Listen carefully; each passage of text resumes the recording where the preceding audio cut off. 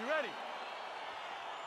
All right, here we go. Round one, outstanding matchup of strikers. Any chance this thing hits the canvas tonight, champ? I don't believe so. I think when you have two high-level strikers like you have in these two men, they're going to go to the center of the octagon, and it's going to be a kickboxing match.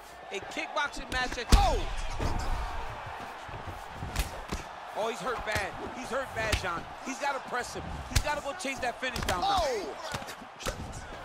Man, he's just got a great feel for the striking realm early in this one. The timing is on point. He's doing a great job of mixing everything up. Flush right hand is true. Oh! He needs to start looking to finish now because he's got his opponent hurt very bad. Oh! Oh, my goodness!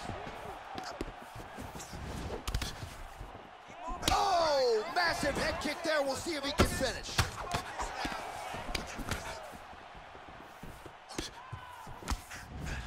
Gaethje gets stung by that leg kick. Oh, Oh, big left hook there. Oh! He's out! Door! Oh, my goodness!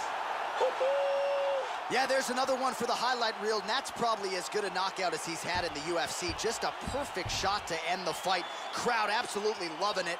Flush land to close out his opponent. I'm not even sure the other fighter saw it coming, so a big knockout for him here tonight on the biggest of stages. All right, we'll take a look back at the highlights. You know we're going to find that nasty head kick somewhere in this highlight rip. Just an incredible result for him here tonight. A very nice head kick to finish the fight.